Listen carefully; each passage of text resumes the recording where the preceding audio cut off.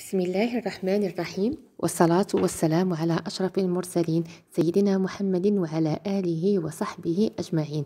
أخواتي الكريمات السلام عليكم ورحمة الله تعالى وبركاته. دائما في سياق استقبالنا للشهر الفضيل شهر رمضان العظيم حديثنا اليوم سيكون حول شروط تمام الصوم. يقول الله سبحانه وتعالى يا أيها الذين آمنوا كتب عليكم الصيام كما كتب على الذين من قبلكم لعلكم تتقون. صدق الله العظيم. قال السلف الصوم ثلاث درجات صوم العموم وصوم الخصوص وصوم خصوص الخصوص. يعني هناك ثلاث أنواع من الصوم. فصوم العموم هو كف البطن والفرج عن قضاء الشهوة. أما صوم الخصوص فهو كف السمع والبصر واللسان واليد والرجل وسائر الجوارح عن الآثام. أما صوم خصوص الخصوص فهو صوم القلب عن الأمور الدنية والأفكار الدنيوية وكفه عما سوى الله سبحانه وتعالى فهو إقبال بكامل الهمة على الله عز وجل وانصراف عن غيره. يعني لا بد أن نميز بين هذه الأنواع ونحن ننخرط في هذه العبادة الجليلة.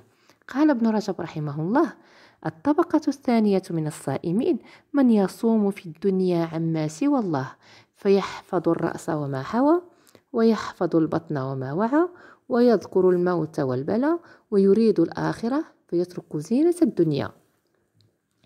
مثل هذا الصائم ليس عيده هو أول يوم من شوال وإنما عيده يوم لقاء ربه وفرحته برؤيته. يقول الشاعر أهل الخصوص من الصوام صومهم صوم اللسان عن البهتان والكذب والعارفون وأهل الأنس صومهم صون القلوب عن الأغيار والحجب.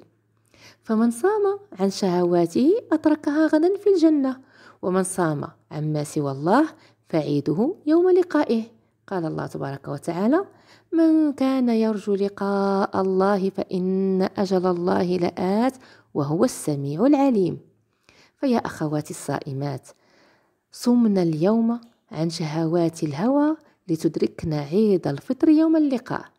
لا يطولن عليكن الأمل باستبطاء الأجل فإن معظم نهار الصيام قد ذهب وعيد اللقاء قد اقترب. وتمام الصوم وكماله وكلنا نطلب ذلك لا يتم لنا إلا بستة أمور. يعني حتى يكون صومنا صوم يعني يكون في في صورة تامة كاملة كما يرتضيه الله سبحانه وتعالى لا بد من توفر هذه الأمور الستة. الأمر الأول غض البصر وكفه عن الاتساع في النظر إلى كل ما يحرم ويذم ويكره. قال الله تعالى قل للمؤمنين يغضوا من أبصارهم ويحفظوا فروجهم ذلك أزكى لهم. إن الله خبير بما يصنعون. وقل للمؤمنات يغضضن من أبصارهن. إلى آخر الآية الكريمة. وعن جرير بن عبد الله قال سألت رسول الله صلى الله عليه وسلم عن نظرة الفجأة فقال اصرف بصرك. فحذاري ثم حذاري من فضول النظر فضلا عن النظر إلى شيطان العصر الذي يأخذ بلب العاقل قبل الساذج وهو التلفاز. فلا تجرحي أختي صومك ولا تنقصي من أجرك فليس هذا عمل من يطلب لصيامه التمام والكمال. إلا طبيعة الحال إذا كان فيما يرضي الله من دروس ومواعظ باعثة على التأمل والتفكر والتدبر. الأمر الثاني حفظ اللسان عن فضول الكلام والهذيان والخوض في الباطل والمراء والجدال والخصومة والكذب والنميمة والفحش والمراء والسب وبذاءة اللسان والسخرية والإستهزاء. وإلزامه السكوت والصمت وشغله بذكر الله وتلاوة القرآن فهذا صوم اللسان. فمن أطلق لسانه وأهمله وأرخى له العنان سلك به الشيطان في كل ميدان وساقه إلى شفا جرف هار إلى أن يضطره إلى البوار وهل يكب الناس على مناخرهم في النار إلا حصائد ألسنتهم؟ حتى قيل حفظ اللسان أشد على الناس من حفظ الدينار والدرهم. ولنتدبر أخواتي في قول الله تعالى ما يلفظ من قول إلا لديه رقيب عتيد صدق الله العظيم. والكلام عندما نريد أن نعين النظر هو أربعة أقسام قسم هو ضرر محض وقسم هو نفع محض وقسم هو ضرر ومنفعة وقسم ليس فيه ضرر ولا منفعة. فأما الذي هو ضرر محض فلا بد من السكوت عنه وكذلك ما فيه ضرر ومنفعة. وأما ما لا منفعة فيه ولا ضرر فهو فضول والاشتغال به تضييع للوقت والزمان. وزمان رمضان زمان غال جدا وهو عين الخسران فلا يبقى إلى القسم الرابع. وبذلك يكون سقط ثلاثة أرباع الكلام وبقي ربع. وهذا الربع فيه خطر إذ يمتزج بما فيه إثم. من دقيق الرياء والتصنع وتزكية النفس وفضول الكلام.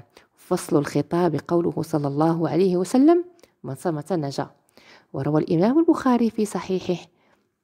عن أبي هريرة رضي الله عنه قال قال رسول الله صلى الله عليه وسلم في الحديث القدسي كل عمل ابن آدم له إلا الصيام فإنه لي وأنا أجزي به. والصيام جنة. وإذا كان يوم صوم أحدكم فلا يرفث ولا يسخب فإن سابه أحد أو قاتله فليقل إني امرؤ صائم. وقال رسول الله صلى الله عليه وسلم رب صائم ليس له من صيامه إلا الجوع ورب قائم ليس له من قيامه إلا السهر فمن هو هذا الصائم وماذا فعل؟ قيل هو من يفطر على حرام أو من يفطر على لحوم الناس بالغيبة أو من لا يحفظ جوارحه عن الآثام. فأما الفرض فقد سقط عنه والذمة برئت. نعم هو صام رمضان وصام ذلك اليوم ولا يطالب بقضائه ولا يكفر عن عنه ولكنه كذلك لا يعاقب عقاب تارك العبادة لكنه يعاتب أشد العتاب حيث لم يرغب فيما عند ربه من الثواب. الأمر الثالث لمن طلب, لمن طلب تمام الصيام هو كف السمع عن الإصغاء إلى كل محرم مكروه فكل ما حرم قوله حرم الإصغاء إليه. ولذلك سوى الله عز وجل بين المستمع وآكل السحت فقال تعالى سماعون للكذب أكالون للسحت وقال عز وجل لولا ينهاهم الربانيون والأحبار عن قولهم الإثم وأكلهم السحت لبيس ما كانوا يصنعون. صدق الله العظيم. فيا من أطلق أذنه عن سماع أصوات المزامير وأصوات الغناء. اتق الله تعالى في نفسك واتق الله في صومك فليس هذا هو صوم الصالحين وليس هذا من يطلب تمام صومه وكماله. الأمر الرابع كف بقية الجوارح عن الآثام كف اليد والرجل عن المكاره وكف البطن عن الشبهات وقت الإفطار. والحرام سم مهلك للدين والحلال دواء ينفع قليله ولا يضر كثيره. الأمر الخامس ألا يستكثر من الطعام الحلال وقت الإفطار بحيث يمتلئ جوفه. فما من وعاء أبغض إلى الله عز وجل من بطن ملئ وكيف يستفاد من الصوم وتكسر الشهوة إذا تدارك الصائم عند فطره ما فاته تحوة نهاره وربما يزيد عليه في ألوان الطعام حتى استقرت العادة بأن تدخر جميع الأطعمة لرمضان فيؤكل من الأطعمة فيه ما لا يؤكل في غيره من الشهور.